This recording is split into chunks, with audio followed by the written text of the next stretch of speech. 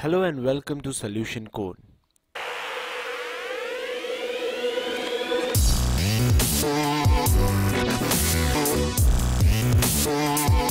In this video, we'll see how to use CK editors in PHP.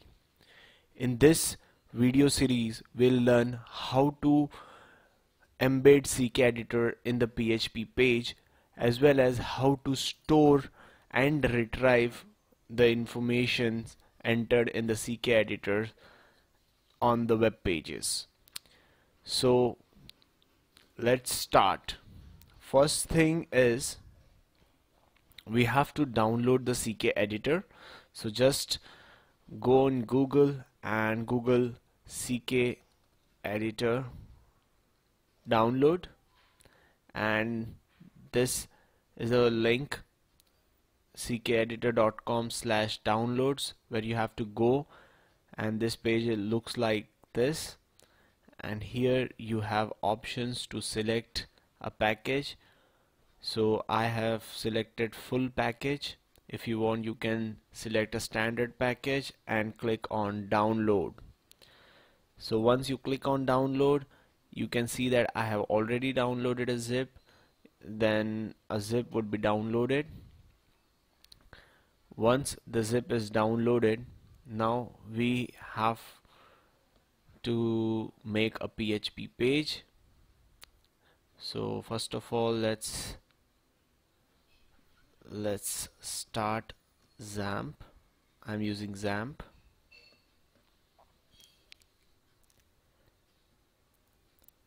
And let's make a folder for our project inside C drive my XAMPP htdocs and here I'm creating a folder named CK editor.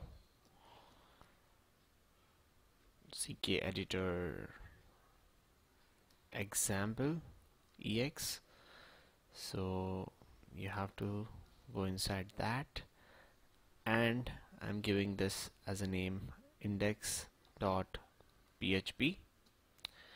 and this is being created. Now first we'll light the basic HTML head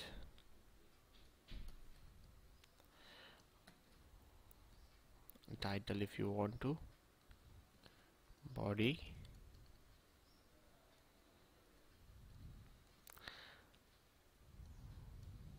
let's give it some title. Let's give it some title like oops I missed it. CK editor. Okay. Now so once everything is set up now we can do one thing. We have already downloaded CK editor just copy this CK editor zip and go inside your XAMPP htdocs and your working directory which is CK editor example paste it here. Extract this thing here and delete the zip. Now inside the CK editor we have to just we have to link the CK editor.js in our file and that's it and just we have to call. So we just want to uh, uh, write script and set the source of this to ck editor ck editor oh, I spelled it wrong. Ck editor ck editor dot js and so we have linked the script in this page. So we can use CK editor in this page. So let's make a text area.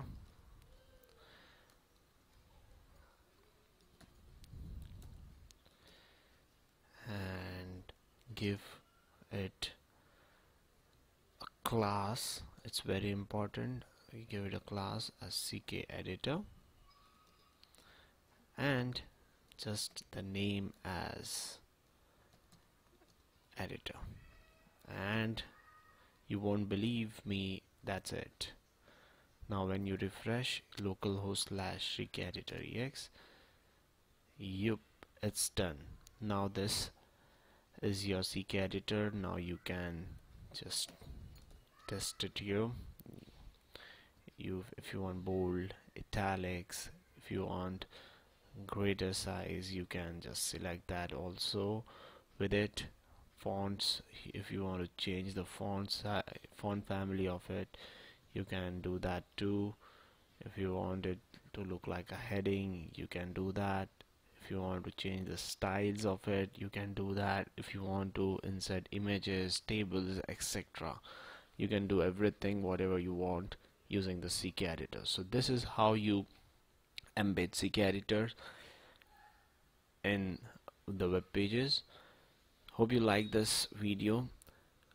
In the next video we'll see how to uh, store the information or the text entered text or images whatever entered here in the database and retrieve it on any page where, where you want to thank you for watching guys. Hope you like subscribe and comment below if you have any doubt.